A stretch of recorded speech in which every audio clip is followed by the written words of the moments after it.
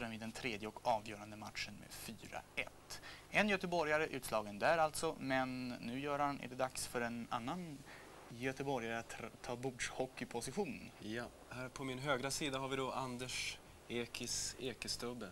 Säkerligen en av de mest tekniska spelarna vi har i vårt land. Han spelar skönspel och eh, väldigt snabb, också ganska ung, han är 20 år gammal.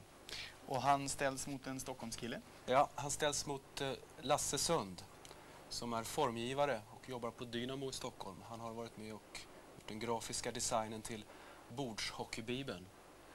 Det handlar alltså om den tredje kvartsfinalen i Pugla Cup bordshockey.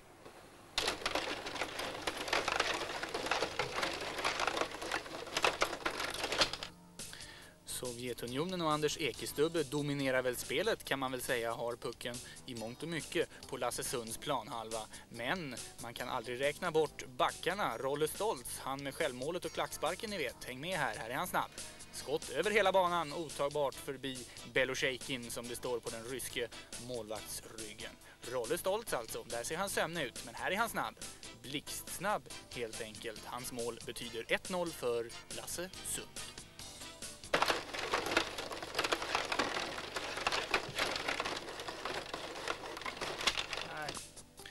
Så får då Anders Ekestubbe lite betalt för sitt spelövertag. Vänsterytten Makarov är blixtsnabb där ute.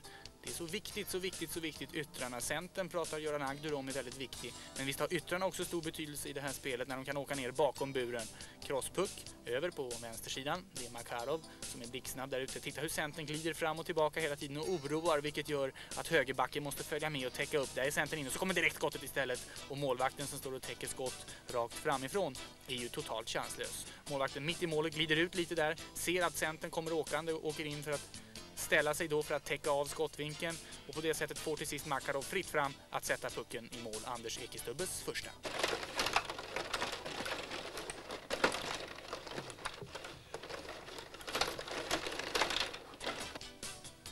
Visst har han klipp i klubban, Bengt-Åke Gustafsson, som här ger Lasse Sund ledningen i matchen med två mål mot ett. Det börjar med backspel och målvaktsspel. Ser ni bollen, eh, pucken träffar stolpen där nere när den ryske centern är framme och oroar. Men till sist får ändå svenskarna kontroll på pucken. Först ett skott utav Bengt-Åke och sen ett rappt skott som studsar.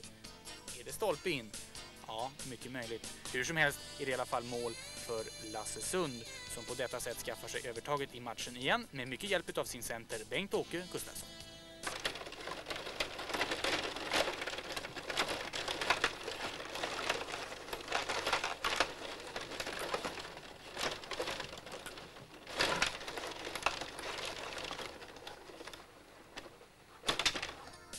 Har ni sett? Vilket jätteskott Lasse Sunds högerback Anders Eldebrink klipper iväg. Men häng med här nu och titta på samarbetet för det är inte bara Eldebrink och högerbacken som gör det. Centern har också väldigt, väldigt stor del i det här målet som Anders Eldebrink verkligen klipper in upp i målvaktens kryss. Här åker han fram för att ladda Eldebrink. Ingen spelare kan komma i närheten av honom mer än Centern. Häng med nu när han åker fram och petar till pucken precis i skottögonblicket. Just precis där petar han till den och det blir ju en jättefart på pucken som far upp i det vänstra krysset. Något av ett drömmål signerat Lasse Sund när han får hjälp mellan centern och backen. Det är så man naturligtvis ska göra, peta till pucken i rätt ögonblick.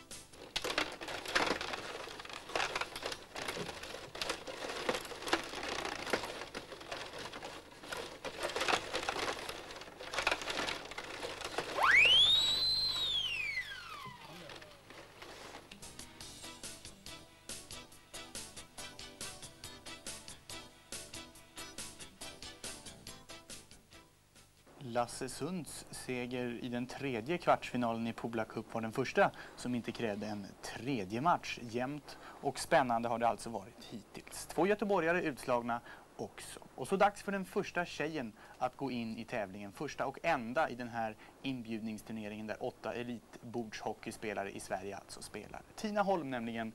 Presentationen utav henne är din, Göran. Tina kommer från Uppsala och jag mötte henne 1985 i Södertälje i finalspelet i SM på Pola. Och eh, hon visade då, jag tror hon måste vara en av de allra, allra bästa eh, tjejerna som spelar ishockeyspel. Eh, hennes motståndare går inte av för hacker. Det är dagens man från Norrland, Lars-Erik Svensson. Det är Lars-Erik Svensson, less kallad, och han eh, är Bordshockeyförbundets ordförande. Kommer från Umeå.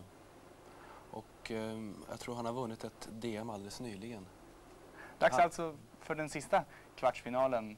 Lars-Erik Svensson, ordförande för Bordshockeyförbundet mot den enda tjejen, Tina Holm.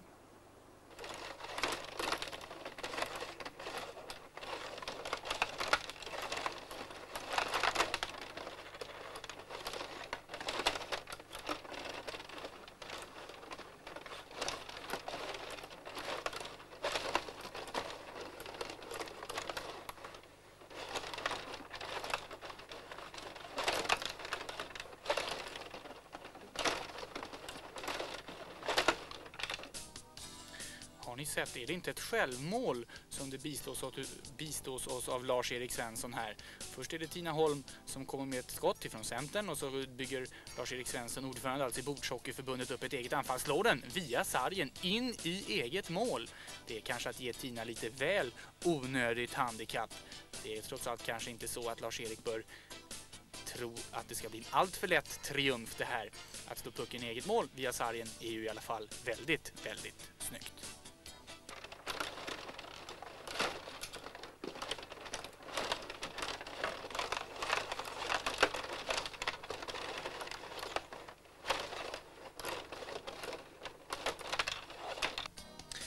Har hämtat sig, Lars-Erik Svensson. Nu vet han hur man gör mål i den rätta buren också. Snyggt är det dessutom. Först en bra räddning av Pekka Lindmark som får känna på pucken. Han slipper hämta ut den ur egna nätmaskor sen svenskarna haft den. Fram till centern som hämtar upp den lugnt och stilla. Spelar ut den till vänsteryttern som direkt skjuter. Han tar emot den först.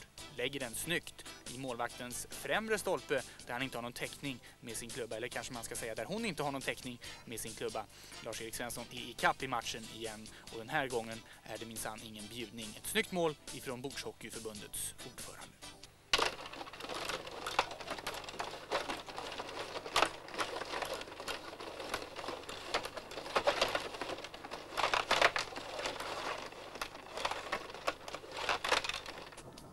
Så har han då funnit stilen riktigt ordentligt, Umeås representant Lars-Erik Svensson.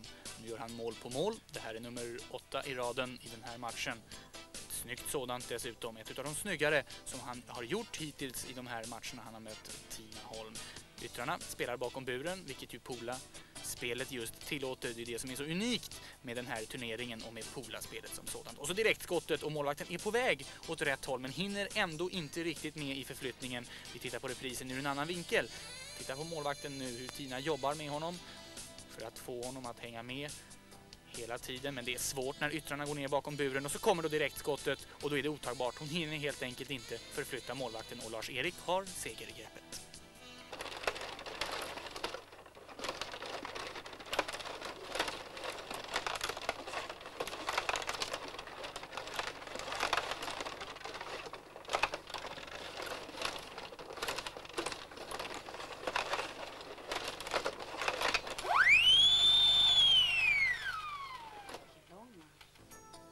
Lars-Erik Svensson besegrar Tina Holm med 2-0 i matcher vilket gör att Lars-Erik är klar för semifinal i Pola Cup.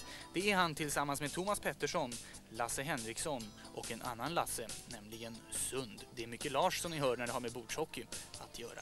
Vi är tillbaka, SBC, Scandinavian Broadcasting Company. Vi är tillbaka alltså om en vecka med semifinalerna. Häng med oss då, för medge att bordshockey kan vara rätt kul, inte bara att utöva, utan faktiskt också att titta på.